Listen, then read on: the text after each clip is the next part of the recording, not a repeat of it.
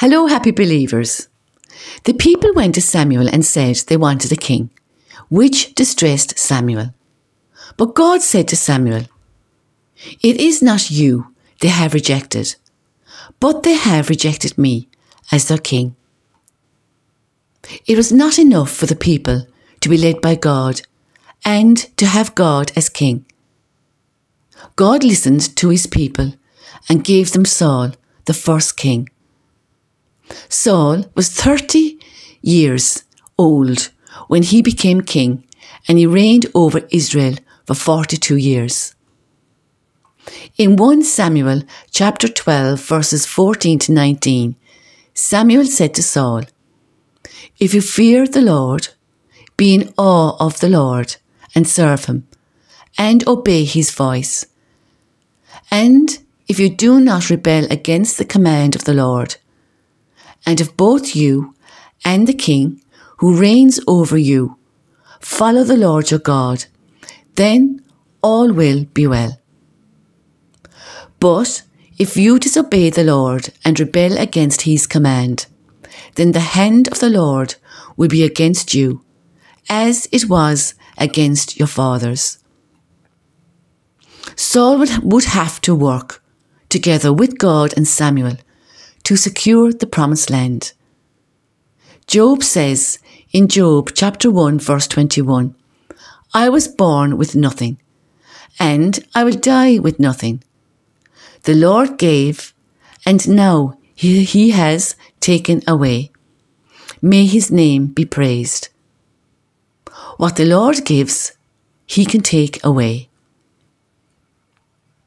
Saul was given instructions from God through Samuel the prophet, but Saul was not a person after God's own heart. He did not follow instructions. He had no patience. He acted hastily he was not obedient. He was more interested in pleasing the people and giving in to his own fear. Saul disobeyed God, first regarding the sacrifice, and second, how they were to attack the Amalekites. He made up his own rules and never consulted God, and he had no luck for it. Then the word of the Lord came to Samuel, saying, I regret that I have made Saul king, for he has turned away from following me and has not carried out my instructions.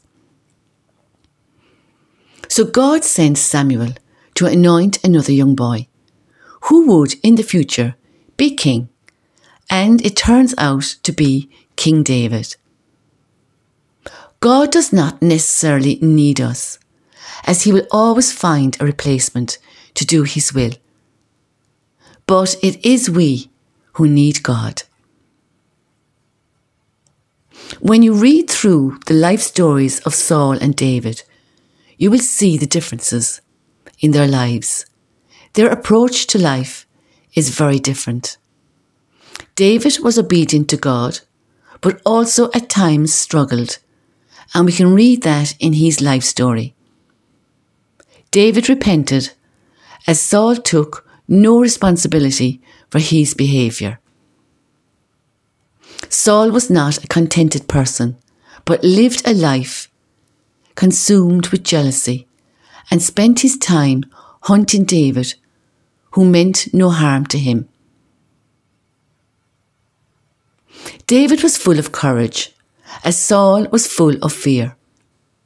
Because David listened to God, his life was blessed. He received God's favour and protection. There is a huge contrast in both their lives. And I think what is clearly seen is if we live under God's will for us, life is a whole lot better. To live a life of hope or a life of despair. That is also our choice today. The following scriptures show Saul's disobedience to God and how it did not work in his favour. All these verses are to be found in the book of Samuel 1. When Samuel the prophet grew old, he appointed his sons as judges over Israel. The name of his firstborn son was Joel. The name of his second was Abijah. They were judges in Beersheba. But his sons did not walk in his ways. They turned down, they turned aside toward dishonest gain, accepting bribes, and perverting justice. So all the elders of Israel gathered together and came to Samuel at Ramah. Look, they said, you are old and your sons do not walk in your ways. Now, appoint a king to judge us, like all the other nations. But when they said, Give us a king to judge us, their demand was displeasing in the sight of Samuel. So he prayed to the Lord, and the Lord said to Samuel, Listen to the voice of the people in all that they say to you. For it is not you they have rejected, but they have rejected me as their king. When Samuel saw Saul, the Lord told him, Here is the man of whom I spoke.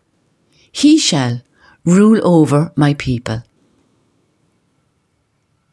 If you fear the Lord and serve him, and obey his voice, and if you do not rebel against the command of the Lord, and if both you and the king who reigns over you follow the Lord your God, then all will be well. But if you disobey the Lord and rebel against his command, then the hand of the Lord will be against you as it was against your fathers. Saul was 33 years old when he became king, and he reigned over Israel for 42 years. Samuel said, And you go before me to Gilgal, and surely I will come to you to offer burnt offerings and to sacrifice peace offerings.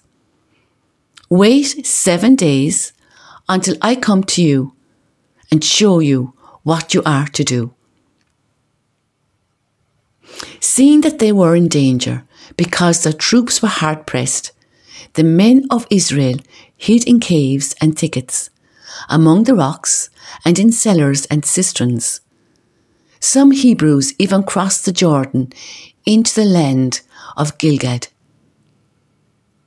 Saul, however, remained at Gilgal, and all his troops were quaking in fear. And Saul waited seven days for the time anointed by Samuel. But Samuel did not come to Gilgal, and the troops began to desert Saul. So he said, Bring me the burnt offering and the peace offerings. And he offered up the burnt offering. Just as he finished offering the burnt offering, Samuel arrived, and Saul went out to greet him. What have you done? Samuel asked. And Saul replied, When I saw that the troops were deserting me, and that you did not come at the appointed time, and the Philistines were gathering at Michmash, I thought, Now the Philistines will descend upon me at Gilgal, and I have not sought favour of the Lord. So I felt compelled to offer the burnt offering. You have acted foolishly, Samuel declared. You have not kept the command that the Lord your God gave you. If you had, the Lord would have established your kingdom over Israel for all time. But now your kingdom will not endure. The Lord has sought a man after his own heart David, and appointed him ruler over his people, because you have not kept the command of the Lord. Then Samuel said to Saul, The Lord sent me to anoint you king over his people Israel. Now, therefore, listen to the words of the Lord. This is what the Lord of hosts says I witnessed what the Amalekite did to the Israel Israelites when they ambushed them. This is what the Lord of hosts says. I witnessed what the Amalekites did to the Israelites when they ambushed them on the way up from Egypt. Now go and attack the Amalekites and devote to destruction all that belongs to them. Then Saul struck down the Amalekites. Saul and his troops spared Agag, along with the best of the sheep and cattle, the fat calves and lambs, and the best of everything else. They were unwilling to destroy them, but they devoted to destruction all that, all that was despised and worthless. Then the word of the Lord came to Samuel, saying, I regret that I have made Saul king, for he has turned away from, from following me and has not carried out my instructions. Saul answered, The troops brought them from the Amalekites. They spared the best sheep and cattle to sacrifice to the Lord your God, but the rest we devoted to destruction. Stop, exclaimed Samuel. Let me tell you what the Lord said to me last night. Tell me, Saul replied, and Samuel said, Although you were once small in your own eyes, have you not become the head of the tribes of Israel. The Lord anointed you king over Israel and sent you on a mission saying, Go and devote to destruction the sinful Amalekites, fight against them until they have wiped them out. So why did you not obey the Lord? Why did you rush upon the plunder and do evil in the sight of the Lord? But I did obey the Lord. Saul replied, I went on the mission that the Lord gave me. I brought back Agag, king of Amalek, and devoted the Amalekites to destruction. The troops took sheep and cattle from the plunder, the best of the things devoted to destruction, in order to sacrifice them to the Lord your God at Gilgal. But Samuel declared, Does the Lord delight in burnt offerings and sacrifices as much as in obedience to his voice? Behold, obedience is better than sacrifice, and attentiveness is better than the fat of rams.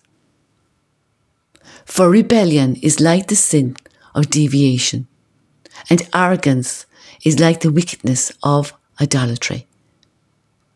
Because you have rejected the word of the Lord, he has re- rejected you as king. Now the Lord said to Samuel, How long are you going to mourn for Saul, since I have rejected him as king over Israel? Fill your horn with oil and go. I'm sending you to Jesse of Bethlehem, for I have selected from his sons a king for myself. 1 Samuel 16, verse 13. So Samuel took the horn of oil and anointed him, David, in the presence of his brothers, and the Spirit of the Lord rushed upon David from that day forward. Next painting very, very soon. Watch this space. Until then, remember, we have choices. Please like, subscribe, and share so we can all live our wonderful Catholic faith together in all its richness. Thank you.